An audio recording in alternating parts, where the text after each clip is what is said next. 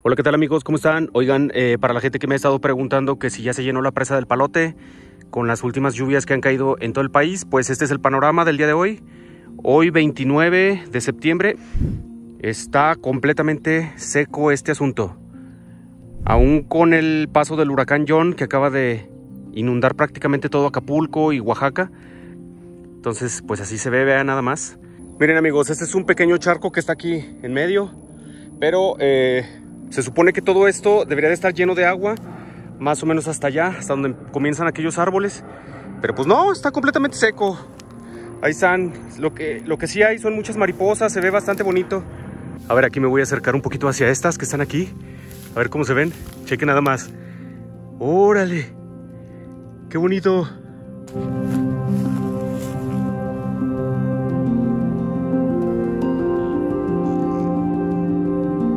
Ok, eh, vamos a hacernos un poquito para allá, para aquel lado, para ver si se alcanza a ver un poquito mejor, pues la falta de agua, ¿verdad?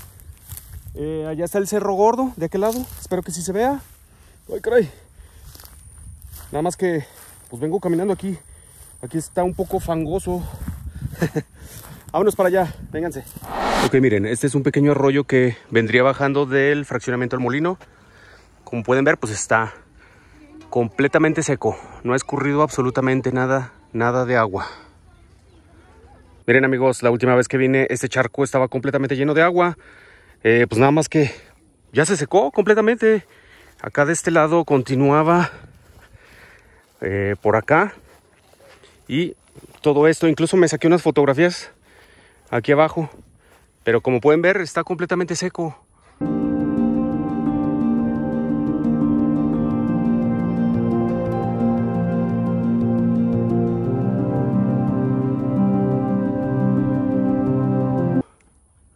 Está bastante, bastante deprimente el, panorama. Yo creo que ya no se va a llenar esta presa. Por lo menos en este año no. Miren amigos, este es uno de los, de los arroyos, ríos que deberían de llenar a la, la presa. Pero pues como pueden ver, apenas está escurriendo un poquito de, de agua. Prácticamente es nulo el escurrimiento.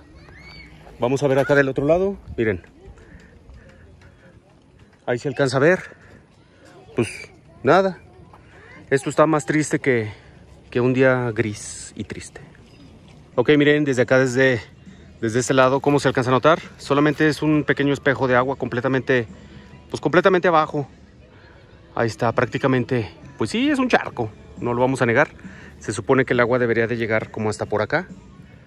Más o menos como la mitad de donde están todas estas, este muro de piedra. Allá al fondo se alcanza a ver la, las ruinas. A ver si se alcanzan a notar. Ahí está.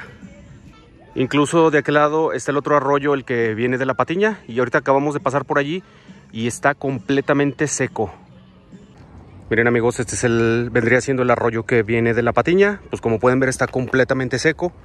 Incluso ya las plantas empezaron a crecer por allí. No se ve que haya escurrido o, o ¿cómo se dice? Arrastrado absolutamente nada de vegetación. De este lado, vean cómo se ve. Ahí está.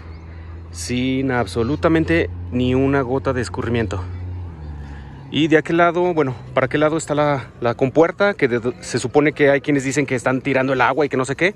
Vamos para allá para que vean. Bueno, mucha gente este, comenta de que están tirando agua de la presa, que por eso no se llena y no sé qué. Pero por donde podría salirse el agua de la presa es por aquí, por esta compuerta. Pero pues obviamente no hay agua. ¿De dónde quieren que, que se esté tirando? De hecho aquí de este lado eh, acaban de instalar un ducto por aquí por abajo. Que pasaría por aquí, por este lado. Y continuaría para allá. Que es en caso de que se llenara, se llenara la presa, poder desaguar por aquel lado. Pero pues como pueden ver, no hay agua. Entonces no importa lo que digan de que, que están vaciando la presa y que no sé qué. Simplemente no ha llovido lo suficiente para los cerros para que se pueda llenar.